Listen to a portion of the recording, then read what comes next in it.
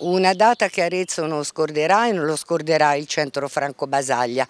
perché con una grande festa il 29 di giugno del 1990 fu decretata la chiusura del manicomio che era un luogo di segregazione e violenza. Il 29 giugno del 1990 la chiusura dei manicomi, nella stessa data, a 33 anni di distanza, una giornata ricca di eventi al Parco del Colle del Pionta. La ricordiamo ma vogliamo anche che sia un momento di, di festa, non solo per questo ma anche per dare eh, il segno concreto di una eh, nuova vita che il Pionta deve avere con eh, le sue potenzialità, ovviamente le attività sanitarie che soprattutto qui sono presenti, ma la ricerca e la formazione universitaria,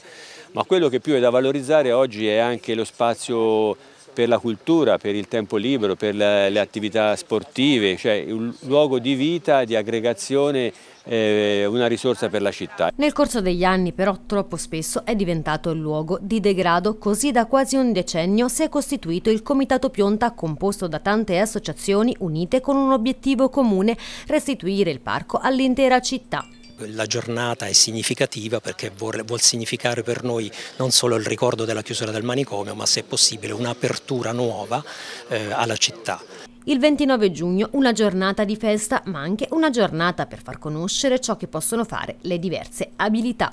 E quindi avremo tanti laboratori del Dipartimento di Salute Mentale ma anche di cooperative private del terzo settore e associazioni di volontariato in cui i veri protagonisti sono frequentatori dei laboratori stessi che a livello artigianale e anche agricolo dimostreranno i loro prodotti le diverse abilità sono una ricchezza, basta saperle valorizzare.